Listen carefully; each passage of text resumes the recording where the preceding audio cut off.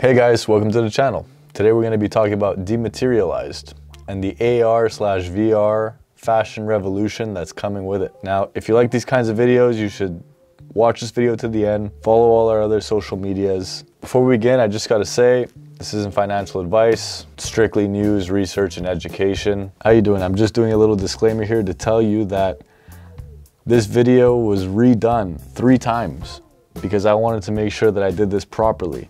Not only because I have a standard that I like to adhere to, not only for my consumers, but also for myself.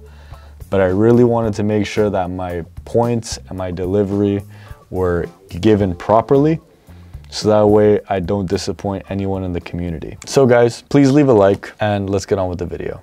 Our subject today, dematerialized.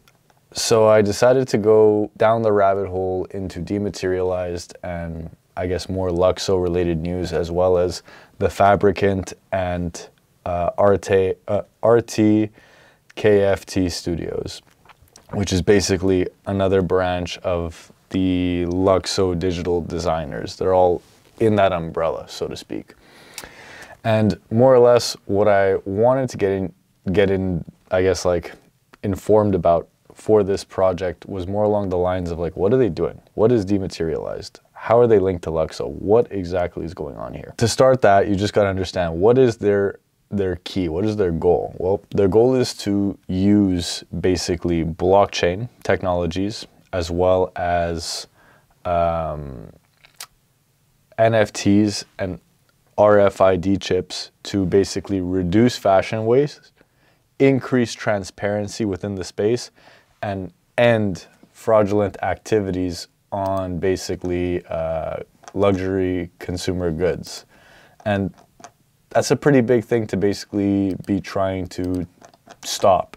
Because from there, more or less, you're going along the lines of ending a $1.2 trillion problem as estimated in 2017. And they're saying, well, it's already happened 2020, so 1.82 trillion dollar problem in 2022 as of writing in this article. So that means that already these guys are going after a huge market cap, a huge market cap of problems that need to be solved. But not only do they have to be solved, they have to be solved and it has to be very much silent. And as silent as it has to be, one thing that I've come to notice through looking into this web of different partnerships and things that are building out of Lukso, I noticed that for sure everyone was signing NDAs, so non-disclosure agreements, meaning that no one is directly involved, but everyone's kind of involved. And it goes really deep and I'm going to break down the partnerships in detail now and I'm going to leave all the sources in the description of this video because there's a lot of them.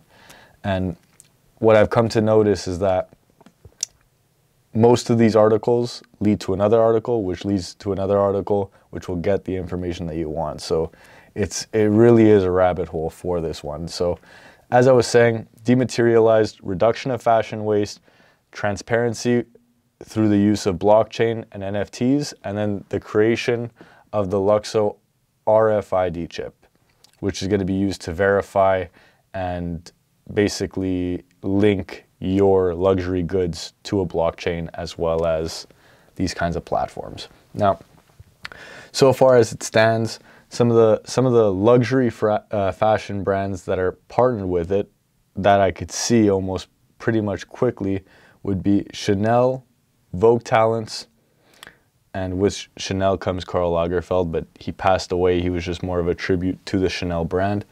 Uh, we got Nike, Puma, Adidas. These are all other brands that I've pretty much seen through this web associated either directly or th through the grapevine, which is very, very much close enough when it comes to something like this. I've seen Richmond, High Highsnobiety, and as well as Burberry. So those are some of the luxury brands that I've seen as being directly linked, and I'll and I'll walk you through it as well. And and I'll show you right here. Hold on, on the Lukso about page, as you can see, Nike, right here. So Daniel Heath, he was in, he was he was he was working at Nike. You have uh, Eric Funder as well as Dr. Bernd Hopcorn, Chanel, Chanel. You go further down, David Fisher, Highsnobiety. Right, right here, this is actually another one I was going to mention a little bit later into the video, but I'll say it right now. And that's uh, Dr. Mervyn G. Maestri. As you can see here, Confid.io founder and CEO, Deutsche Bank, former Group Coup, meaning that Lukso stretches as far as Deutsche Bank. And that's already huge because Deutsche Bank is one of the, I think it's one of the, the only six, marginally successful banks in Europe right now. And I think they're more or less uh, an institution. Like they're not really going anywhere. Along those lines of the RFID chips that I mentioned as well, that brings Arianee on board, right? So Arianee is basically the digital identity consortium, and Lukso already partnered with them, which would bring basically it would make sense why they're doing the digital identity. You know what I mean, or a universal profile. They've already have the connection. The idea is to connect these um, connect these identities to chips, from my understanding, which is going to allow for the reduction of counterfeiting and other solutions that we need, right? Now, in those chips, we're going to have basically NFTs that are linked to proving authenticity for your luxury products. So let's say you buy a Chanel purse. You're going to be able to have that chip and that NFT associated to that purse, and you're going to know that that is your purse. And one of the beauties about that is that there's a lot of people that are rocking fake designer shit and they don't even know it. And this chip is going to be the eradication of that market, at least until counterfeiters get good enough to attempt to try and do something similar. But then they would have to go through the effort of, of, of probably breaking the blockchain, which isn't necessarily easy or possible to do. So, other potential partners that are in the pipes or that have been, you know, declared as partners officially or along the umbrella is you got Louis V, Prada, and Gucci. They've all launched NFTs within certain sequences of each other, and I have a lot of the resources here, but there's so many different articles linking all of them that for me to basically go through every single one of them with you guys will take forever. So you're just gonna have to go into the sources to see what I'm looking at. That also includes, you got Fabricant, RTFKT Studios, which is two digital fashion houses. And the thing that's crazy about them is that uh, RTKF, uh, R, RTKFT Studios got bought by Nike.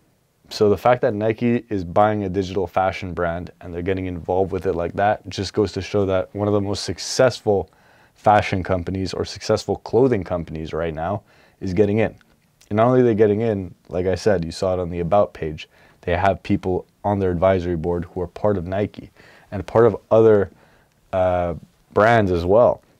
Like like one of the one of the things that I was extremely shocked was Atari. Atari is launching sneakers, either I think it was on Fabricant. They were launching Atari sneakers, meaning that Atari is somewhat connected to Lukso, and I've mentioned it in my groups, and I don't know if I've said it in a video, but I genuinely think Atari is going to make a comeback through the metaverse. They've been dead for many years, but I think this next step forward might actually be Atari's comeback. They've bought land, they've done a lot of things in the metaverse, and it almost seems like fitting that they would end up there because of their style and the way that metaverse is already being like uh, spoken about. Another thing too that I wanted to mention was I saw an article that was talking about how Krigler perfumes, which was like a very uh, unique perfume slash cologne brand that allows you to lease scents for a year or for months at a time, which means that when you have that scent, you are unique to that scent.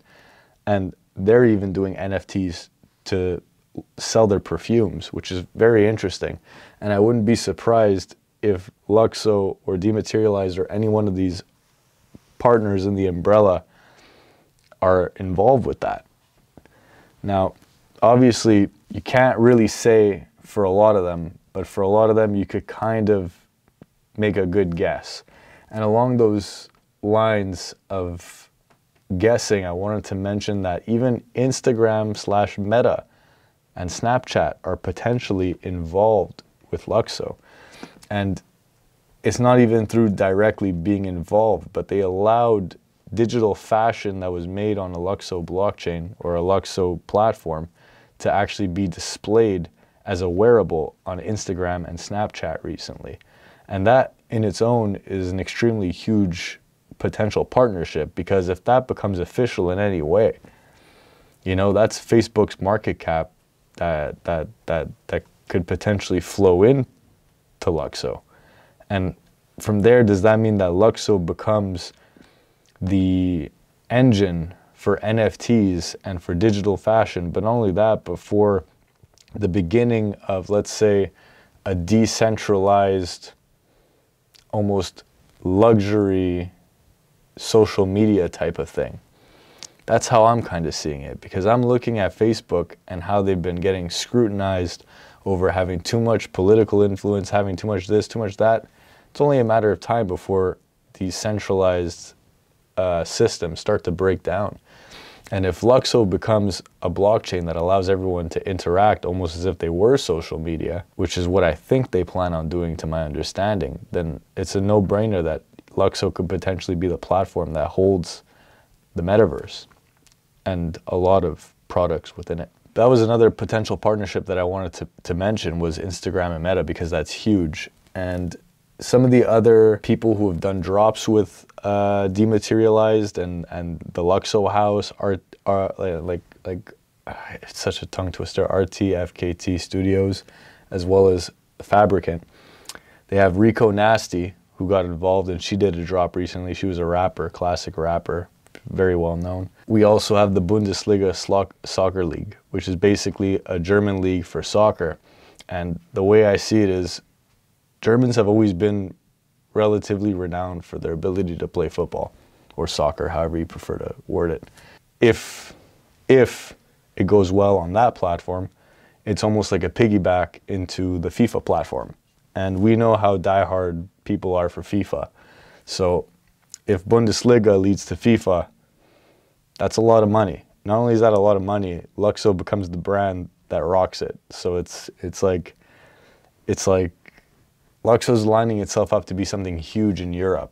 And it makes sense because they are they are based in in in, in Germany if I'm correct. In that in that establishment there, they have pretty much all the connections they need to basically establish themselves in the luxury brand world. This is another thing that I wanted to mention too, was that Lukso and Dematerialized, like I didn't know that Marjorie and Fabian were actually married. So then it made me realize like, oh, their partnerships are actually more likely to be partnerships. Like if someone's partners with Dematerialized and Lukso is Lukso, then it's not like a partnership in passing. It's very much a partnership. They're married and they're working on Lukso together, which kind of makes it more beautiful because then it makes my job a little bit easier having to look at it from a perspective of like who could be, who can't be a partner, what's the possibility. It's like, no, they're married. So if one locks a partnership, the other one gets it and vice versa. So it's actually a beautiful system for me because it makes my job just a little bit easier it's probably the most smiling I did doing this entire research because I felt like, hey, I don't know if you guys ever seen uh, It's Always Sunny in Philadelphia when Charlie's like melting down and he's like looking at the board full of all these names that he came up with, linking them all together. It's a meme. I'll probably post it in the corner of this chat just so you can see which meme I'm talking about. I felt like him the whole time. And uh, I'm just happy I get to crack a smile now. So, hashtag relationship goals. Yeah, hashtag relationship goals. Hashtag relationship goals. Thank you, Fizz, for reminding me. I don't know these things. I'm a caveman who just understands crypto. Some of the other partnerships that I did want to mention, or potential partnerships and listings specifically. So I mentioned Facebook, Instagram, Snapchat, and how they have the wearables able to be displayed, or they were able to be displayed for a brief period for specific drops. But I also wanted to mention that Coinbase and Crypto.com have basically allowed Lukso to be listed on their DEX. So meaning that there are Lukso wallets compatible to their DEXs. And while that doesn't necessarily mean anything more than it's a wallet, the reality is they wouldn't list it on the DEX for nothing. It means that Lukso is potentially in the works with building a partnership. And if they manage to land either Crypto.com or Coinbase, don't be surprised if that leads to a partnership with Visa and they're all European. Well, I mean, they're not all European companies, but Visa's a European company. And if they manage to lock down something with crypto.com, then Visa's in the pipeline with it because they're directly linked to each other. And like I mentioned before, uh, Deutsche Bank was actually one of the last points that I wanted to mention. But then there's one more, one more huge one that I've actually been saving to put almost as a cherry on the top. And this one's associated specifically with Lukso, not just dematerialized, but specifically with Lukso, and it's this right here. So you roll a little bit down, you're thinking, okay, what's what's going on here? Bam, Yasin Sheikh, Near Foundation CFO. But what was he before? He was formerly a BlackRock director. Who is BlackRock? Well, if you look at all the companies in the world, they're owned by either two companies. One of them is Vanguard, and the other one is BlackRock. You have someone who is in BlackRock as an advisor, and you can see right here just exactly what BlackRock's all about. Look at their assets under management currently. In 20, uh, in, in, what was it, in 2000, from 2008, or actually rather here. Originally, before let's say 2020, they had about an 8.6 uh, 8.68 trillion dollars worth of assets under management. And then by 2021, the end of the third quarter, they hit 9.46 trillion dollars US in assets under management, meaning that this is a trillion dollar fund. That's huge. And the fact that they're even involved in passing is insane because BlackRock, they own everything. And if they're on the advisory board of Lukso, then the chances of Lukso failing, not going to say they're impossible, but they're very, very, very unlikely. Very unlikely. Because you don't have people like that on your board for nothing. It doesn't just happen like that. And one of the things that I've noticed is just going over dematerialize, it led me back and forth through Lukso, through Fabricant, through all these different studios, back into each other. And it made me realize that this is just silently growing to become a dynamo of not just commerce, but also the beginning of a phygital experience. So the creation of physical and digital experiences melded into one. But not only like that, but through an AR and VR capability, right? So that's how it all happens. And if we're going to be heading into a world that's more metaverse related and more online like that, something like this is just the next step in the ev evolution for it all. So I wouldn't be surprised to see something like Lukso dematerialized and this entire platform succeed. And even me personally, I feel like the top on a lot of NFTs is in or coming shortly. But for some reason, I think the NFTs that'll do best will likely be land and actual like assets of the of the of the metaverse to come and things like Lukso. So like Lukso drops specifically because currently a lot of them they're not really being looked at and the thing is, is once all these luxury brands start launching their own NFTs on Lukso, because we're not going to know that that's going to happen until it starts happening because of the NDAs, non-disclosure agreements. Yo, there's going to be a lot of there's going to be a lot of demand for that because already people are throwing what 60 to 100 ETH for a picture of an ape. Imagine what they'll do for Chanel or Gucci or Nike or this or that. Like the end of the day, they're, they're catching a niche market of people who just want to throw their money. And that's kind of where you want to be. So even if it doesn't get a lot of different brands or people or this or that, it has the ones that, you know, bring in big money. That was basically uh, a summary of the partnerships that I've found and some of the more interesting things that I've noticed about it all like they've been mentioned in Vogue and Forbes, and I wanted to mention that too if I didn't say before. Vogue Vogue Talents also feature them and did a drop with them as well. I guess all I could say is as I research more into this subject of dematerialized and Lukso, I'm probably going to have to do another video about it and recap some more things that I may have missed because there's a lot of things And not only is there a lot of things, they're hard to find. But a little birdie gave me a hint and said that every time dematerialized follows someone on Twitter, usually a drop follows. Now, obviously, I can't say that's a guarantee or not, but I'm looking for it and I appreciate the heads up to the person who told me. That's more or less my recap or my analysis of dematerialized and all the other Lukso associated digital fashion houses that are currently partnering up with multiple brands. If you watch this video to the end, I want you to like, comment, subscribe, check out our social medias, Twitter, Instagram, Discord, Patreon, everything that you see on our link tree that you could click on, click on it. Definitely check it out. Don't be shy, we don't bite. And if there's anything that we missed or anything that you would like to ask, feel free to drop something into the comment section and let us know. Take care.